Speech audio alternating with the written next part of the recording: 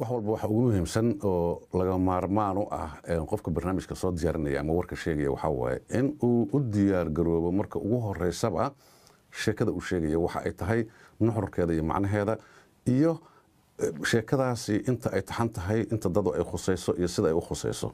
Marka intaas ogaatid waxaad ogaanaysaa kale waxa aad sheegi karto iyo sida aad u sheegi karto. Waxaad tahay xogogaal sheekadii waad la socotaa waa fahamtay waa gudbin karaysaa markaas qofkii ku dhegaysanaya markaa macluumaad fiican ayuu ka helaya taasi waxay kuu sahlaysaa markaas in dhegaysiga qofka uusan ka caajisanin waxa u gudbinaysana ay noqdaan wax nuxur leh oo dadka ay kaa dhegaysan karaan. Marka tan ugu muhiimsan waxaa weeye u diyaargarow wakti sii faham sheekada dadka u sheegaysid. Weligaana iska ilaali waxaadan fahamsanayn dadka ha u sheegin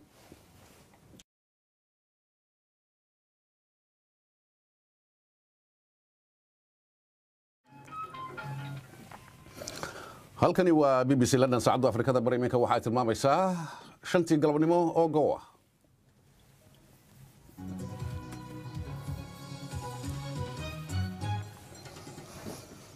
kulan wacan oo wanaagsan khiyaartana dhegeysanaysa meel walba aad joogtaanba. Waa galab khamiisa siddeed labaatanka bisha abril idaacadda qodobada aad ku maqli doontaan waxaa ka mid ah qaramada midoobey oo sheegtay in masiibada marka ay noqoto luqada aad adeegsanaysid ama afka aad adeegsanaysid oo aad doonaysid dadka ku dhegeysanaya inaad wax ugu sheegto waa inay noqotaa mid sahlan oo dadko dhan ay fahmi karaan. Maxay tahay mid sahlan oo ay dadku fahmi karaan?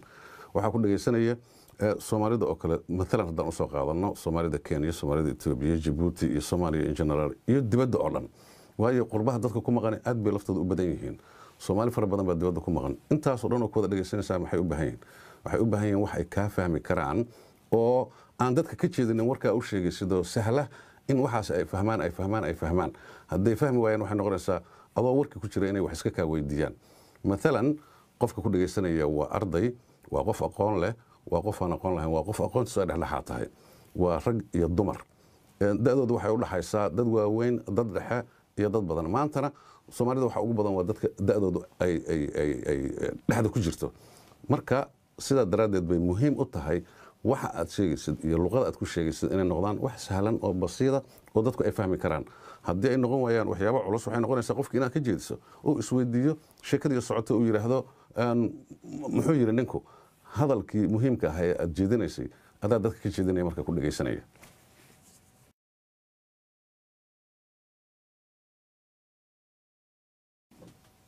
Aad anagu aan nasiib ugu leenahay soomaali haddaan nahay iyo dadka af soomaaliga ku hadla in luqada iyadu ay tahay soomaali laakiin waxaa jira siyaabo kala duwan lahjada yaryar iyo in lagu wada hadlo.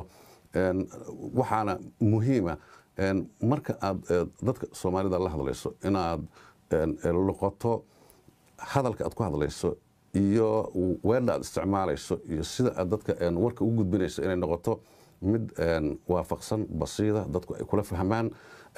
Maalan waxay sameeyeen soomaalida ama websaadyada ama idaacadaha qaarkood ee wadanka gudihiisa ku yaalla iyo marka ay wararka qaarkood ka sheekeynayaan. Tusaale waxay u soo qaadanayaan ay leeyihiin warka nuxurkiisii meeshuu ka ahaan lahaa maalan weerar baa dhacay shan qof baa la dilay. Waxaad maqlaysaa kuwa leh weerar baa lagu dilay shan qof meel hebla nuxurkii iyo waxay kala horumarinayaan warkii. Shan qof baa la dilay weerar waxaa qaaday kooxdaa halkaasaa lagu dilay. Adoo waxay gaabin karaa iyaad haddana nuxur iyo miisaan iyo u yeeli karta dadkiina ay kula fahmayaan wixiina aysan ku adkaanayn. Haddaad dadka laakiin waxay ku adkayso adiguna waad isku adkaynaysaa in lagaa dhagaysto fariinta aad doonto aad doonayso inaad dadka u gudbiso.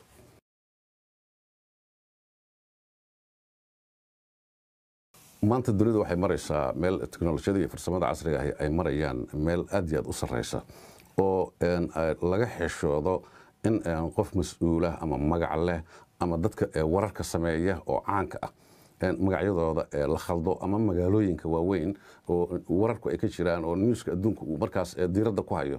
Marka annagu mushkilad kuma qabna maalan soomaali haddaan nahay magacyadana sidaan u akhrino. Laakiin waxa ugu weyn oo loo baahan yahay qofku inuu ka taxadaro waxaa weeye magacyada shisheeyaha magaalooyinka waaweyn warka samaynaya warka ku jira. Waayo haddaad aadan ka fakarinin google oo kalaa jira dad kalaa jira oo kula shaqaynaya oo la weydiin karaa oo cilmiga aad ka kororsan kartaa oo markaas magaaladii magaceedii iyo sidii saxeedoo lagu dhawaaqay aad ka helaysaa laakiin haddaad isaga dhawaaqdo sida ay u qoran tahay. Waayo magaalooyin waxaa jira sida loo qoro iyo sida loogu dhawaaqo ay aad u kala duwan yihiin. Magaalada lester oo kale maalan ee dalkan england sida loo qoro marka aad fiirisayo sida loogu akhrinayo waa wax aad iyo aad u kala duwan. Magaalooyin kaloo sidaas oo kalea jira oo tusaale u baahan inaad haddaadan garanayn waxa qof weydii marna ha ku degdegin meel aadan magaceeda oqon haddaad ka shakido georgi mararka qaarkood waxaa dhacda wariyaasha qaarkood waxaan maqli jiray kuwii aanu dhegeysan jirnay markaynu waa aragnimada ka kasbanaynay. Magaaladoo dhan ba inay ka boodi jireen magaceeda oo laga yaabo idaacadda dambe inay ku soo daraan magacii iyagoo saxaya. Marka googlekaad ka faa'idaysan kartaa siyaabo kalead uga faa'idaysan kartaa magacyada shisheeyaha iska ilaali. Waayo qofki idaacad kale laga yaaba intuu dhegeysto inuu ku yidhahdo war muxuu qofku ku hadlay? Kii b b c du magacii waaba khaldayba. Marka adiga b b c da baad tahay ama idaacadaada ama telefishinkaaga ama hay'adaada warbaahinta uma doonaysid sumcad xumo. Sidaa daraaddeed qabanqaabadii iyo diyaargarowgii ayay ka mid tahay magacyada inaad mar walba iska saxdo oo aad ciddii ku aqoon dhaanta aa weydiiso ceeb ma aha.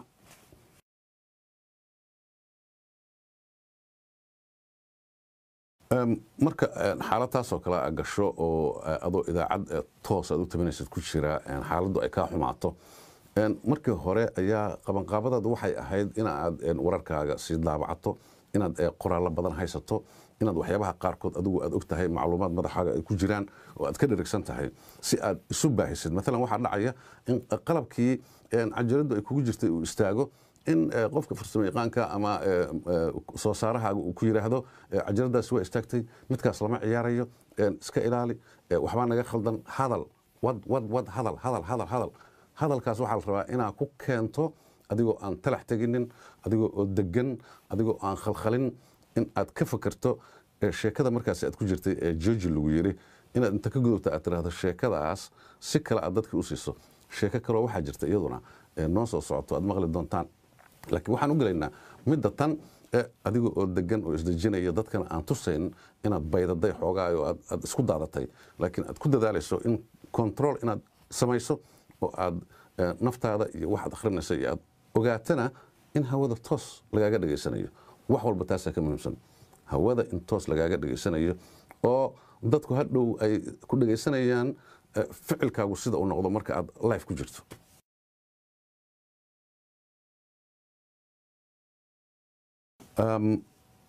Muhiimad weyn oo kale waxaa leh codkaaga sida aad u isticmaalayso waayo waa hubkii aad ku dagaalamaysay waa hubkii aad isku difaacaysay waa hubkii aad dadka tusaysay in aad tahay qof waxa uu gudbinayo og.